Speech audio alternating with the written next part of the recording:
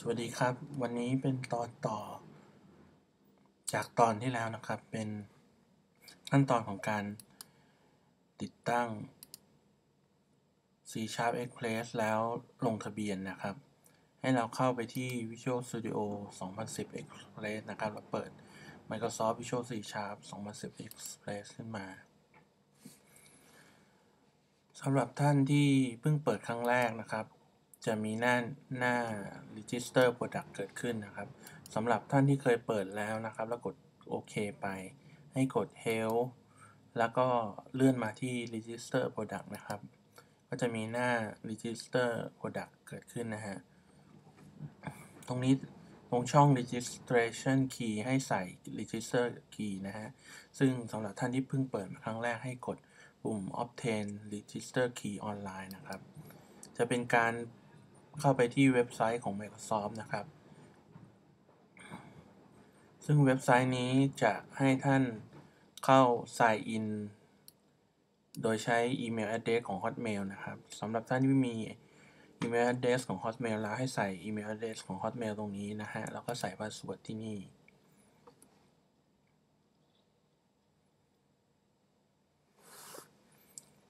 ก็ใส่ ท่านท่านก็ใส่ password ของท่านลงไปนะครับ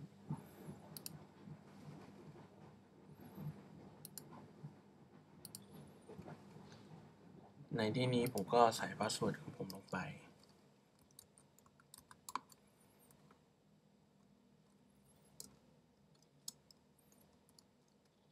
แล้วก็กด sign in นะครับสำหรับท่านที่ยังไม่มี Windows Live ID หรือยังไม่มี Hotmail นะครับ ให้กด sign up now ส่วนตอนนี้ผมจะกด sign in เข้าไป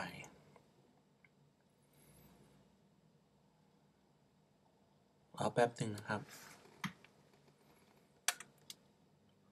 ตรงนี้ท่านก็จะให้ให้ท่านกรอกชื่อและที่อยู่ลงไปนะฮะ ในที่นี้ผมก็พิมพ์ ชื่อนามสกุลลงไป prefix ก็ Mr. Mrs. นะฮะ my email address ก็ใส่ตะกี้ลงไปก็ได้ หรือจะใส่อีเมลของตัวเองลงไป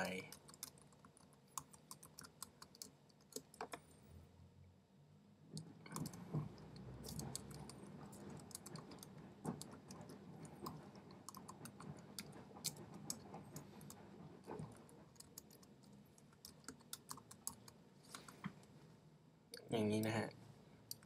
ในที่นี้ผมจะใส่อีเมลของผมลงไป postal code นะฮะ ก็คือ รหัสไปรษณีย์ country นะครับ ก็คือประเทศ ในที่นี้เราก็ใช้ประเทศไทยอยู่แล้วนะฮะ เราก็เลื่อนลงมา ที่ประเทศไทย แล้ว ก็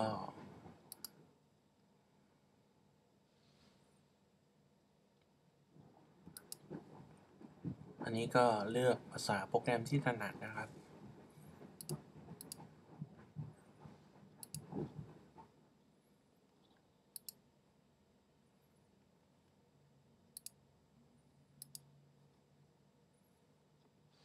หลังจากนั้นก็เลือกโปรแกรมที่สนใจนะครับ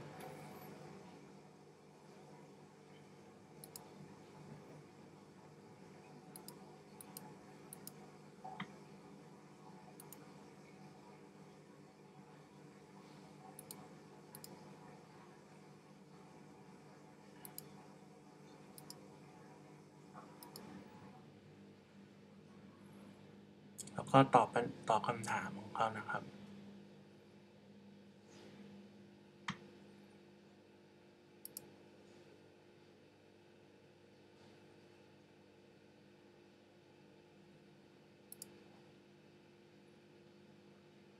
ตรงนี้จะตอบยังไงก็ได้นะครับ ไม่มีผลอะไร เราก็ตอบไปตามความเป็นจริงก็ได้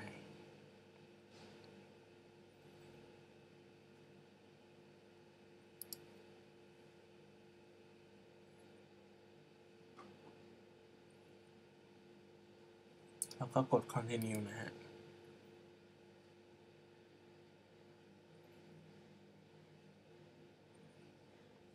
ทาง Microsoft จะส่งอีเมลมาที่ช่องอีเมลที่เราใส่ไว้นะครับ เราก็จะเข้า เราก็ต้องเข้าอีเมลนั้น เพื่อที่จะดูรหัส password ที่เขาส่งมาให้ อ๋อ ไม่ต้องครับ คือ ตรงนี้เราใส่เราเราบันทึกรหัส password ที่เขาส่งมาให้ได้เลย แล้วก็ Copy เก็บไว้นะครับ ทีนี้ เราก็จะเปิด Visual C Sharp Express อีกครั้งหนึ่ง แล้วก็ใส่ Register Key ที่ปรากฏตะกี้นะฮะ pass เข้าไป แล้วก็กด Register Now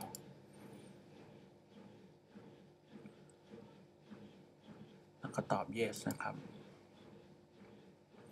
ตอนนี้ก็จะได้ก็จะ Register เสร็จเรียบร้อยแล้ว สังเกตว่าถ้าเราเข้าไปที่ Health แล้วก็